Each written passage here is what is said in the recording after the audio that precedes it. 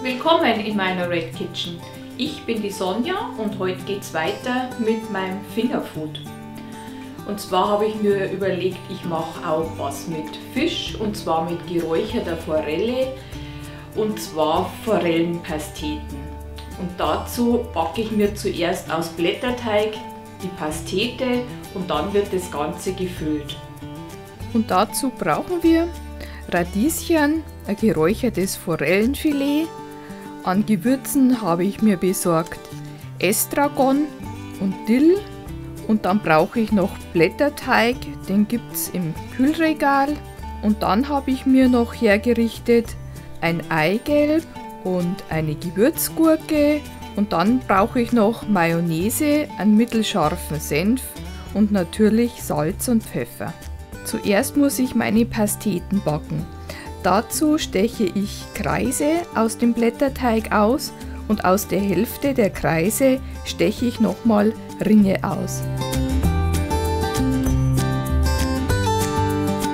Meine Kreisteige bestreiche ich dann mit dem Eigelb, das habe ich mit einem Esslöffel Wasser verrührt und dann setze ich meine Teigringe auf die Teigkreise und anschließend werden die nochmal mit dem Eigelb bestrichen.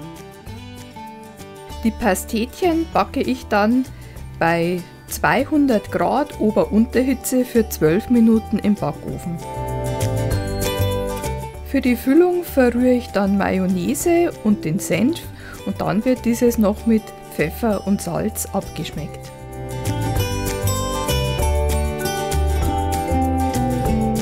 Die Kräuter habe ich abgezupft und dann hacke ich sie und gebe sie in die Mayonnaise.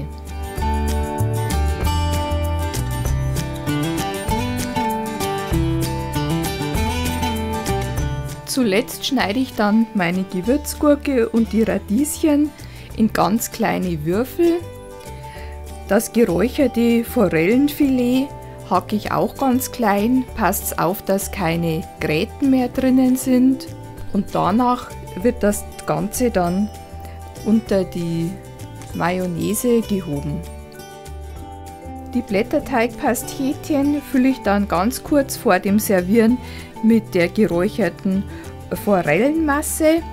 Dann garniere ich diese noch mit einem Dillzweig und das ist ein ganz tolles Fingerfood für eine gelungene Party.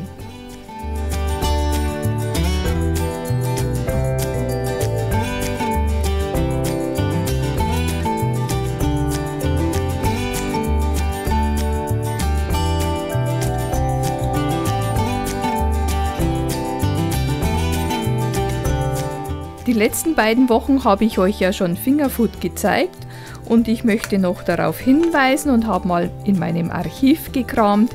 Ich habe dann noch ein Avocado Mango Tartar und gratinierte Jakobsmuscheln zu bieten.